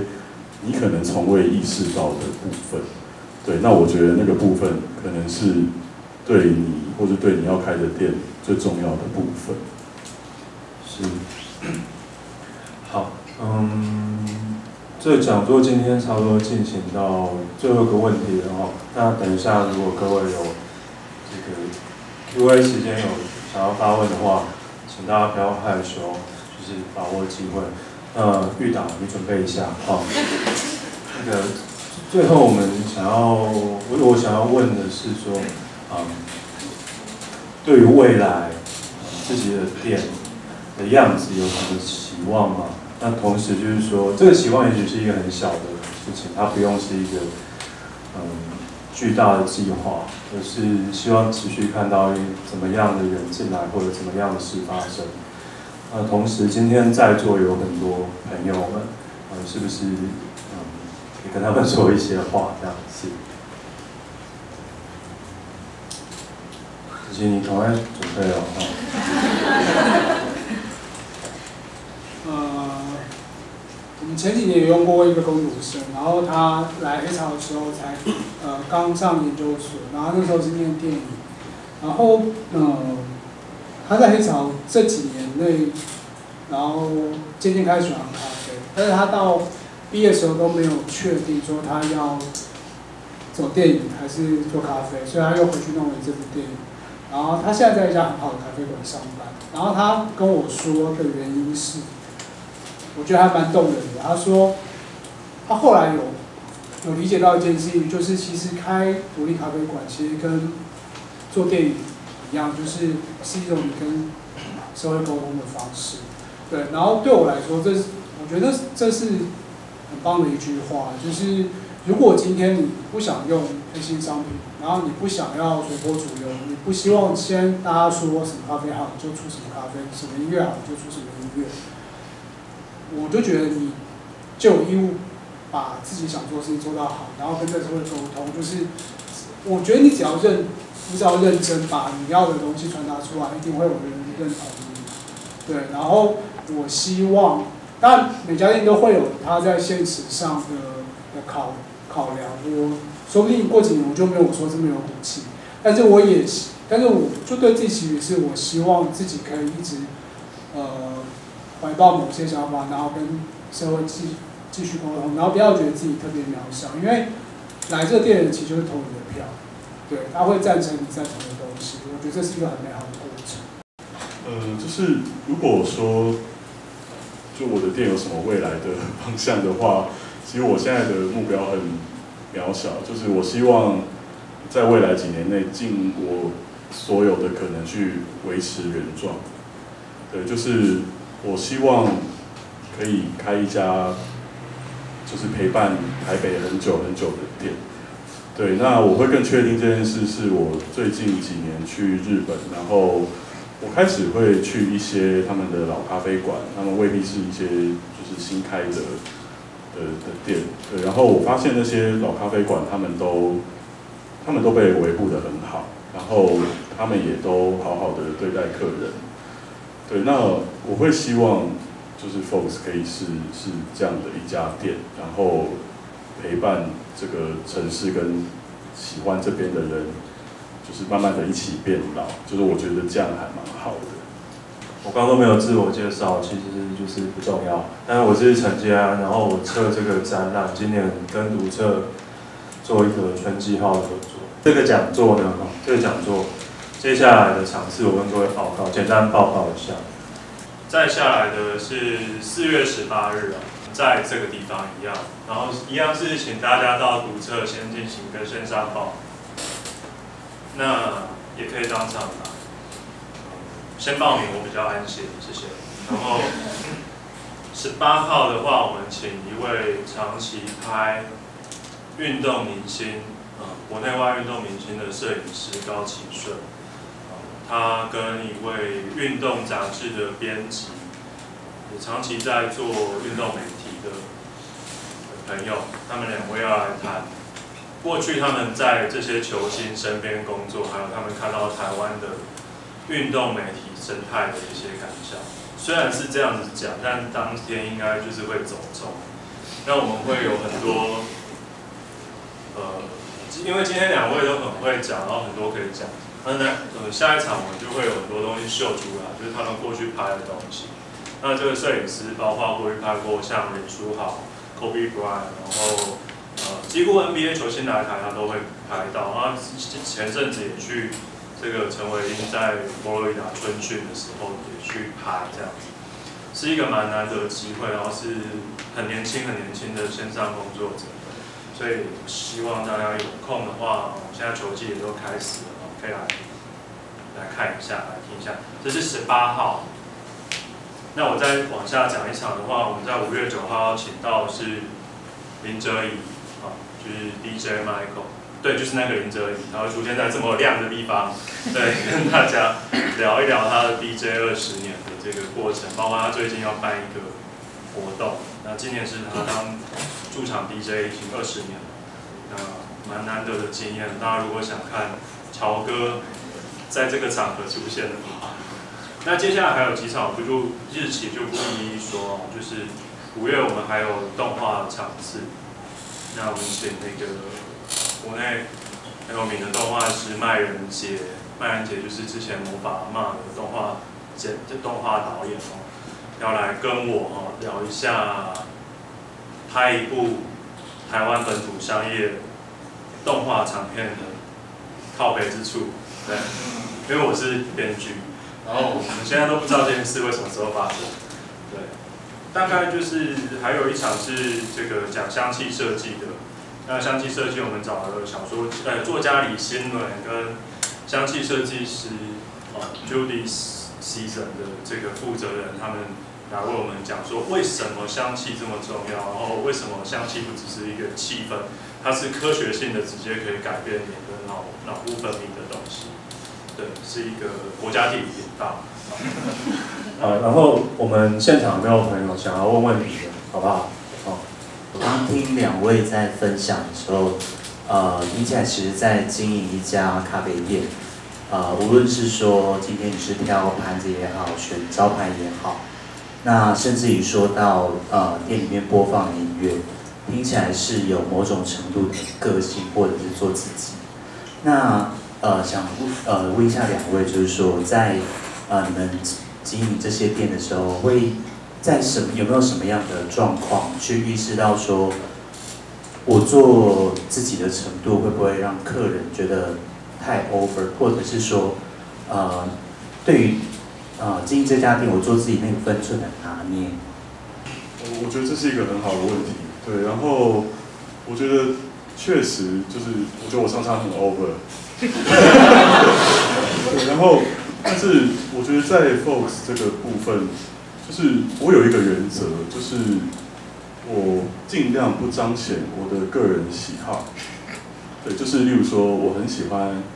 摇滚乐，但是我不会把整家店都贴满摇滚乐的海报。对我，我家还有很多的电影海报，可是我也不会把它贴上去。就是我不想要让客人一进来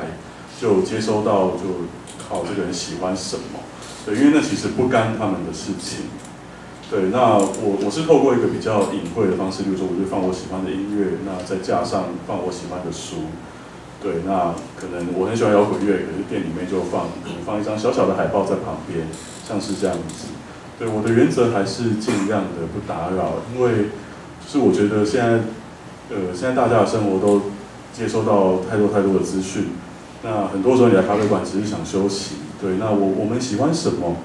对，对我们来说很重要。可是我觉得对客人来说，那其实就是跟他们没有关系。对，那我希望是，如果他们想聊，我我们非常乐意。但我们绝对不会用一个很主动的姿态去强迫客人接受什么。我觉得是这样子。呃，第一个我觉得是，你没有办法讨好所有的客人。所以，即使你做的再有礼貌，或是再温和，一定有人还是不喜欢。这是所有开店都应该要有痛苦的一个体验。就是如果你想要讨好所有的人，第一个就是这做不到，因为第二个你会非常挫折。然后第二个是，嗯，我觉得随着年龄不同，你会体会不同的事情。比如说，像我们都很很好的一个朋友，他在分享路有一家非常有名的店。他说他以前最讨厌客人，竟然就跟他说：“老板，呃，老板，我一杯热美式不加糖。”他就会很生气说：“ 他怎么知道我会加糖？”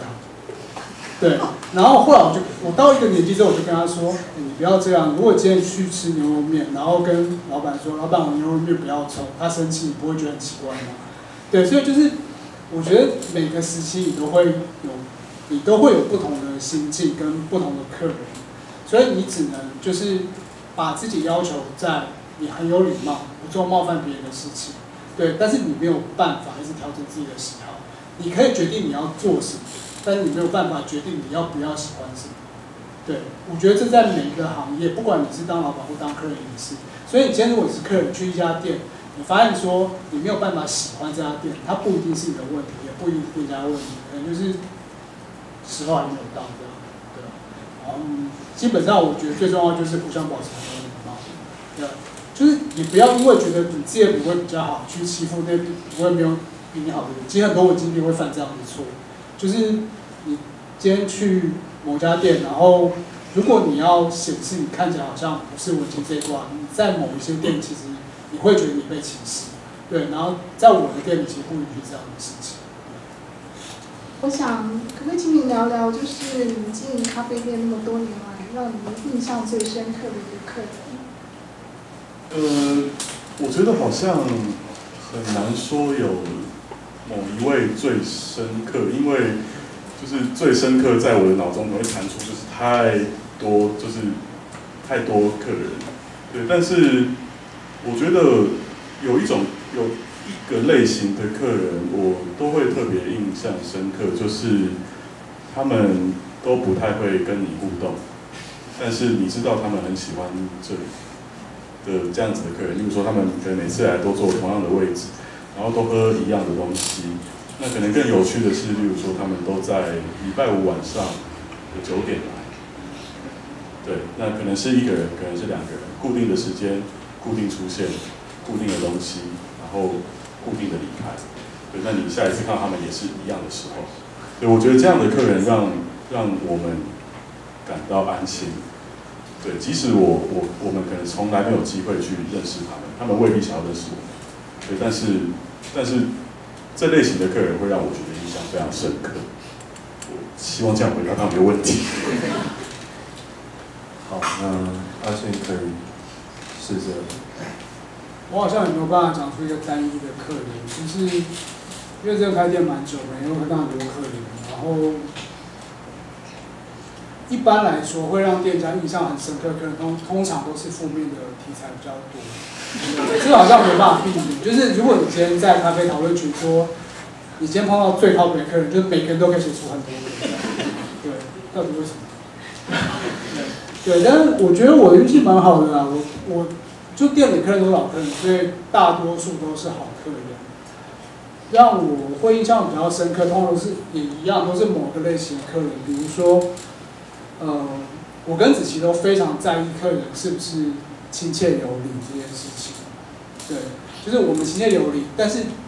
就是这样讲，大家可能会觉得很奇怪，就是大家都会觉得你在咖啡店里面都很亲切有礼，但是没有有一些人，我这几年来我把有礼貌客人分成三种，就是 第一种是真的非常亲切有礼，就是家家教非常好，对自我教养很好，然后气质很好，然后这种人比例非常非常的低。然后第二种是，我说真的就是真的骄傲。然后第二种通常是，呃，影视圈的服务人员，就是他们那个圈子行规会把他们叫成这样，就是看到每一个都是大哥大姐。然后因为他们在那个圈子里面竞争很激烈，就是你你连打灯光的或者架脚架，你其实都不能得罪。所以尤其是小演员或者是小编剧，会发现他们非常的有礼貌。但是这种人你在跟他互动的时候，你会发现说这些人并。他只是有理，他并不亲切，对，那是他们他们的工作法教的是这样。然后第三种就是同行，对，同行的话通常也都会格外的亲切有礼，但是那种就是另外一种感觉，对。但是如果说碰到第一种人的时候，你都会印象很深刻，而且每一个人都会记得，不管几年之后回来，你都会跟你工读生说，啊，他以前是怎么样怎么样怎么样，然后超有礼貌的。而且我说第一种人为什么比例很低，而且这种人一定是不是天生自我要求高，就是家教好的原因是，不管几年之后他们再回来，或或是你在其他地方看到他们，他们一样都很直接有人。而且你就问那个那家店老板之后，他们也不会喜欢这样的客人。对，然后我们像我跟姐姐对这样的客人就印象非常深刻。呃，两位好，我想问的是，就是经营咖啡馆，呃，这些年来，就是你们遇到最大的挑战是什么？曾经遇过的瓶颈是什么？然后又是如何克服它的？嗯，谢谢。呃，我觉得我们这一行最大的挑战是稳定度。对，就是不只是说你产品的稳定度，是你你你人的稳定度，就是你要让就建议的客人来，他可能很喜欢你的咖啡，然后觉得你的服务也很好，很恰恰如其分，对，但是他不能下一次来，然后你就心情不好，你就脸很臭，对，或者是你就煮一杯很奇怪的东西给他，对，就是就是我觉得稳定度是是最大的挑战，一直到我现在开店，我觉得这对我来说依然是最困难的事情，对，因为我每个人每一天的状况都太复杂。你要让自己维持在一定的稳定程度，必须要就是很某种程度上非常自律，你你才有办法维持强大的稳定度。对，那瓶颈的话，呃，其实很多人问我有没有过职业倦怠，例如说有没有在咖啡馆上班上的很腻。其实我觉得我常常在倦怠，在一路走来的过程。对，但是。对，但是我觉得，我后来体认到的是，就如果这是一份那么无聊的工作，我相信工作都是无聊的，不管哪一行。对，那你就把你就让自己就是泡在那那里面看看吧。对，你就让自己完全沉在无聊里面，看看会发生的事情。对我一直到现在都是这样想的。呃，当我遇到什么倦怠的过程的时候，对我就会告诉自己，就是。我要更往里头钻，看看会发生什么事。希望可以达到。阿朱。呃，我觉得碰到的困境的话，都不是店里的，都是我自己的。就是嗯，我其实一直都没有觉得我自己，我我一直都觉得我可能会在咖啡馆工作，但是我没有想到说我真的就是开了一家店，然后呃。既然那时候本来在讲纲上问问说，那黑长这几年来有没有什么变化？呃，我觉得其实没有，世界变化很快，但是店里没有什么变化。然后我觉得我个人变化很多，就是，呃，你要非常痛苦的承认你自己是一个在做生意的人，这对于一个就是读书人来说很不容易。对，然后你你就开始要想很多事情。对，早年之前他们在的时候，我会觉得说都是弟弟弟妹妹，你们要等他们。然后等他现在公子越来越小，就会觉得自己很像爸爸。对，你就会有很多，你，我觉得那个心情很奇特，就是呃，你要开始很深刻的，就很痛切的觉得你对这这家店有责任，而且对这家店有责任的原因是你对你的员工其实很有责任。对，然后你就你就开始去搞清楚很多数字。对，然后你要想想办法让店不要倒掉，对，然后，呃，啊呃，你我觉得可以当一个店的负责人，有具需要具备很多种心智习惯，像子琪说，就是你要有承受无聊的能力，还有第二个是子琪下面有碰到，就是呃，因为呃服务业的离职率很高，黑潮赚非常非常低。对，但是你还是几年，你就开始，你就觉得你要重新再带同样的人，然后你是不是有办法把这个当一个前提，一直重复在你生命中发生，然后这个当成前提接受，我觉得很重要。然后服务业又充满了各式各样会一直一直折一一直折磨你心智的前提，对，然后这都是当你要不要做这家咖啡店老板，要先想清楚的事情。我那时候其实并没有想清楚。但是我自己很高兴，是这几年下来，我觉得，呃，就是我我现在可以承认说，哦，我是一个做咖啡生意的人，然后我喜欢我自己的店，然后我希望这个店可以很久，然后我觉得这是呃最大的对我来说是最大的困难，就是我终于承认我是一个做生意的人。其实，对，其实在座很多文青，如果哪哪一天你们觉得说哦我要开始做生意这件事情，就是第一个在直觉在情感上你会排斥他，就觉得说感觉真的很没气质哎，就是你要开始连下班在点说那些零钱啊什么的，对，然后你要叫货啊，然后开始台语要变得很好啊，这些这种事情，对，然后我觉得这是我目前碰到比较大困境，其他的东西我觉得就是你的工作都。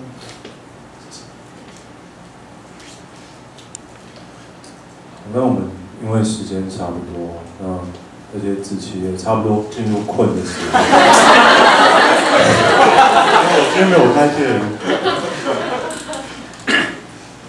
每天早上还是要六点多起床，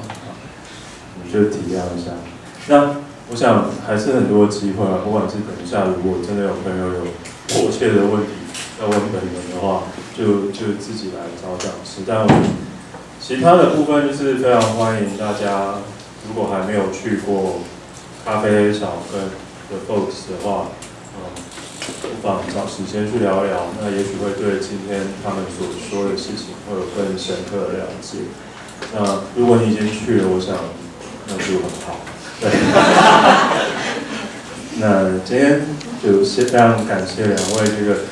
呃很难得愿意出来讲课的讲师哦。那也希望接下来讲座可以看到你们，谢谢大家，谢谢。